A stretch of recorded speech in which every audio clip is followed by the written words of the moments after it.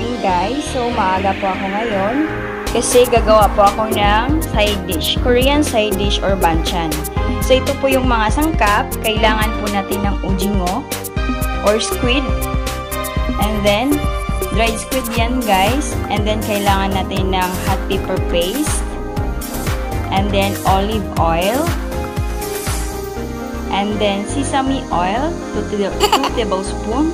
And then, syrup, corn syrup.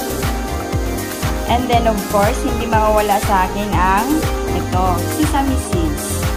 So, nag, nag ano po din ako ng bowl para dito po natin i-mix. And then, lagayan ko ng aking side dish pagkatapos ko siyang ma-mix lahat. So, ito lahat guys, mix-mix lang. So, tara na! Simulan na natin ang pag-mix ng super basic na ujingo muchim or seasoned dried shredded squid.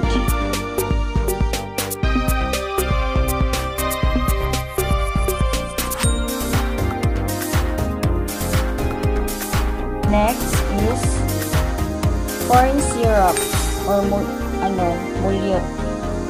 Corn syrup. And then next, sesame oil.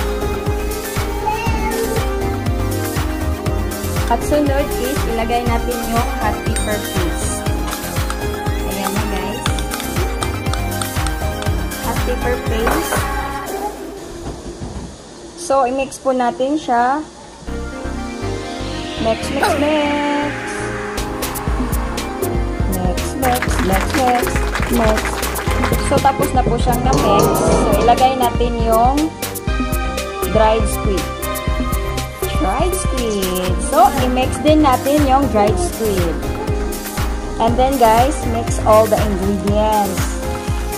So, ito po yung ginagawa ko. Diba ang, ano, ang sarap nito, guys. Masarap dito sa pulutan yung ujingo. Yung, ano, dried ujingo. Or dried squid dito sa Korea, inano nila to eh.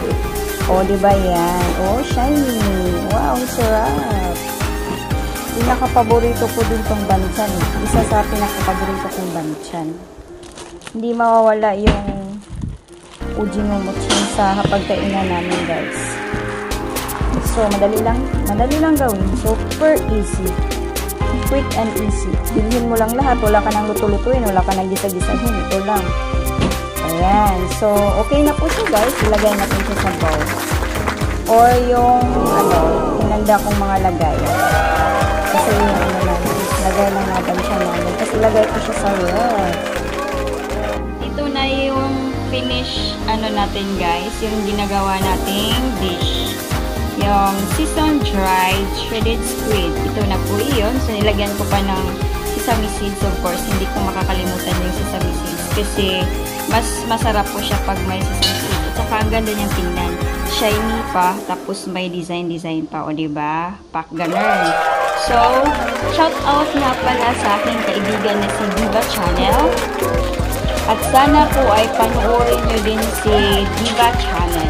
Kaibigan ko po iyon. Tapos siya yung laging nagla-like at saka nag-comment sa aking videos. So, abangan nyo din pong yung mga video ko guys kasi mag-upload pa ako ng madaming madaming pagkaing Pinoy at saka Korean food and dishes.